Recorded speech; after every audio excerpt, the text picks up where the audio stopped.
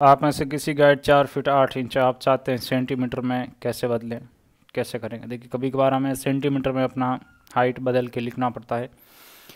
तो देखिए, मैं आपसे क्वेश्चन पूछूँगा, किसको बदलना है फिट को? तो एक फिट का सेंटीमीटर में वैल्यू कितना होता है?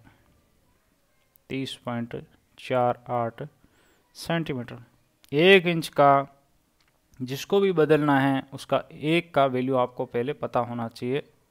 किसमें सेंटीमीटर में बदल रहे हैं तो सेंटीमीटर में। अब चलिए आ जाइए मैदान में।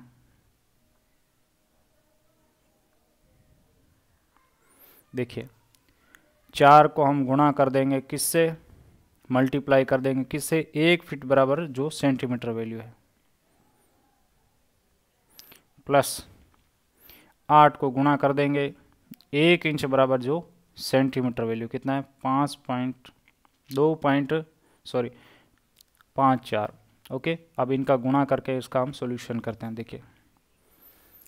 चार गुणा तीस पॉइंट चार आठ। ये आ गया एक सौ इक्कीस पॉइंट नौ दो प्लस आठ का इससे गुणा कर देते हैं।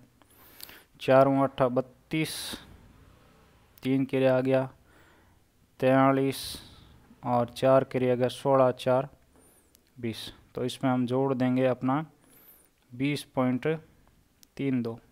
तो ये फाइनल आपको मिल गया कितना? एक सौ बयालीस पॉइंट दो चार। ये किसमें है? आपका अब सेंटीमीटर में है। ओके आसान है।